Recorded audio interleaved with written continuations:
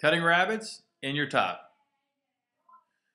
For your top to fit on the bottom five pieces of your box, you're going to cut a rabbet joint in all four sides using the dado saw. Your goal is to have the top fit flush with the sides and firmly down into the box. Step 21 in your plan of procedure tells you to clamp up your box just like photo 5 in the classroom. That looks like this photo here. You should have had your instructor check to make sure that your top fits the clamped up pieces of your box. Upon completion of all these steps, now it's time to go to the dado saw and start setting up the tool to cut the rabbets in your top. First and foremost, let's set the height of the blade.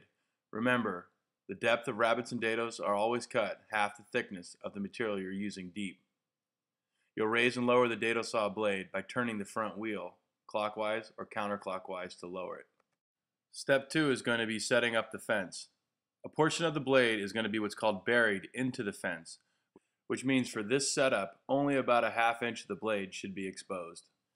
Just like our other table saws, to adjust the fence, you're going to have to unlock the knob, and when done, lock it back in place.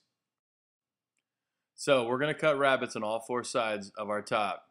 How we're going to do this is by beginning cutting across the straws or across the grain.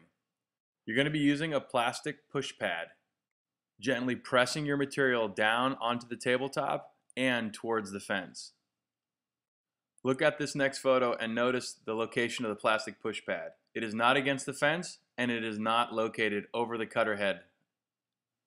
Once you cut both ends across the straws, now cut both sides with the grain direction. This should clean up any tear out that you have. Again, notice the push pad is pushing the material against the fence and down on the tabletop, but it is not over the cutter head at all. Now let's watch a short clip on how to complete this step. The operator has the push pad located on the metal tabletop and not over the cutter head. As she cuts across the straws, she transitions to cutting in the direction of the straws or in the direction of the grain. Her left hand is assisting keeping the board against the fence the entire time. Now go get your instructor and let's go complete this step.